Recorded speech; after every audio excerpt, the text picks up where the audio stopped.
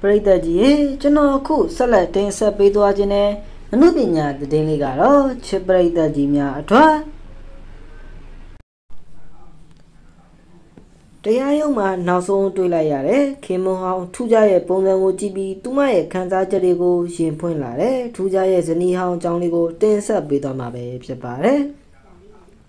ပရိသတ်ကြီးရဲ့တရုတ်ဆောင်ထူးကြကတော့လူမှုရေးဖောက်ပြန်မှုကြောင့်သူ့ရဲ့ချစ်စနီးနဲ့တရားဝင်ကွာရှင်းခဲ့တာပဲဖြစ်ပါတယ်။ကွာရှင်းရတဲ့ကိစ္စကိုလည်းထူးကြမှာတရားဝင်ပြောကြတာမဟုတ်ပဲသူ့ရဲ့ဇနီးမှာလူမှုကွန်ရက်ပေါ်တွင်ရေးသားထားတာပဲဖြစ်ပါတယ်။တတိဒီသတင်းကြကြချင်းမှာပဲပရိသတ်တွေအားလုံးအာသင်ခဲ့ရတာပေါ့ခင်ဗျာ။ဒီနေ့မှာတော့ထူးကြတို့နှစ်ယောက်ဟာတရားရုံးတွင်တရားဝင်ကွာရှင်းခဲ့ကြပြီပဲဖြစ်ပါတယ်။ ဒီအကြောင်းအရာနဲ့ပတ်သက်ပြီးတော့မကြာသေးခင်နိုင်ပိုင်းလောက်ကခိုင်မှုရဲ့ Facebook Story တွင်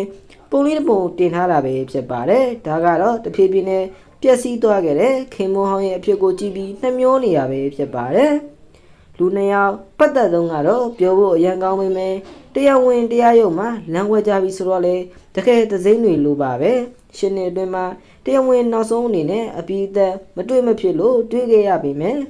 လာပိုင်းတွေအတွင်း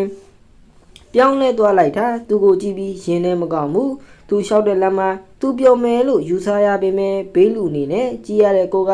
သူ့အတွက်ချစ်ချင်းမုန်းချင်းမပါပဲစိတ်ပူပြီးနှမျိုးနေမိတာမညာခြင်းဘူးအများကြီးအကောင်းဘက်ကိုဥတင်အောင်အချိန်တွေစိတ်တွေနစ်ပြီးလှုပ်ပေးခဲ့တာကိုဖျက်ဆီးပစ်တော့လေခဏလေးရဲ့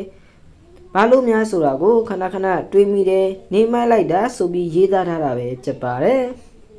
ပရိသတ်ကြီးရဲ့ တရုတ်ဆောင်ထူးခြားရဲ့အကြောင်းလေးကိုပြည်သက်ကြီးများအတွက်တင်ဆက်ပေးလိုက်ပါတယ်ခင်ဗျာ။